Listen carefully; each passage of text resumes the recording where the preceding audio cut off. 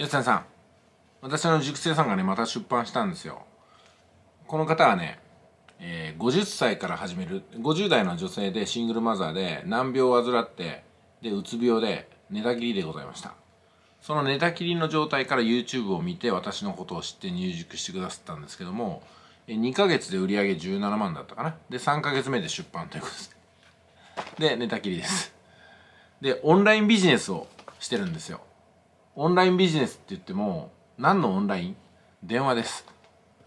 電話でオンライン。まさにオンラインですよね。電話のビジネスで稼いでるんですよ。寝たきりでも電話だったらできるでしょうと。パソコンが全然できなくてもできるでしょうということでね、まあ、つまりはあのできることをやるだけでもちゃんと人生は切り抜いていけるってことの一つではないかなと思うんですよ。まあロスジェネ世代だからどうこうとかね、うん、結婚してないからどうこうとかね。いろいろとあるかもしれませんけどもまあなんか残された機能でちゃんとやっていけるってことなんですよねきっと。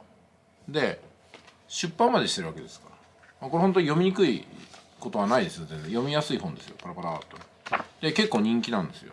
私の塾塾の内でも人気ですしそれ以外のとこでもねもう売れ始めてると Amazon Kindle でお求めくださいということでございましただからねできないならできないでできることがあるんですよね別に掛け持ちしなくてもゼロ持ちだったわけですよ寝たきりなわけですから。ゼロ持ちから最初の1個が速稼塾のオンラインあちょっとハンバーガーのチラシが出ちゃった。ということなんですよ。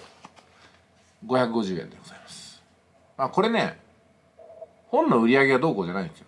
この本をまとめて人に読んでもらうプラットフォームでできたことがすごいなと思います。ブログも書けないしメルマガもやってないし。でも本だったら書けるんですよね。すごいシンプルでしょ、テクノロジーほとんど使ってないということでもちゃんとやっていけるということでございました。やってみようということですね、うん、じゃあ何ですかね。まあ何ですかね。出版のパンにしましょうか。書籍の書にしましょうか。書。